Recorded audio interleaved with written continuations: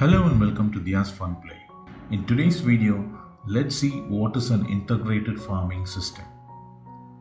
An integrated farming system is a sustainable farming system that integrates livestock, crop production, poultry, tree and timber crops, plantation crops, and other farms that benefit each other.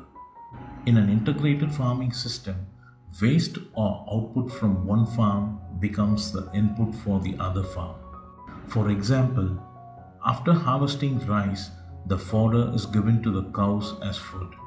The cow produces organic cow manure, which is used to fertilize crops and feeding fishes in ponds.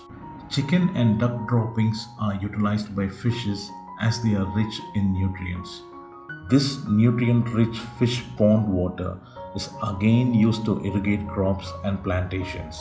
In this method, waste from one component becomes a treasure for the other component.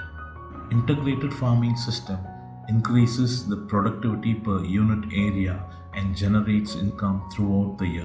This farming system keeps the soil healthy as there are no harmful chemicals used for growing crops. Some of the components of the integrated farming system are livestock and dairy, poultry, piggery, fishery, plantations, timber crops, agricultural crops, and fruit cultivation, etc. This farming system is energy saving and increases employment opportunities.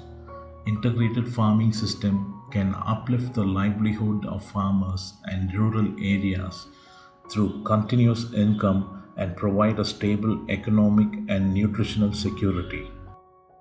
For watching Diya's Fun Play. See you in the next video. Subscribe for more videos. Right up, subscribe right here, right now. Don't forget to press the bell icon. The choice is yours. Diya's Fun Play.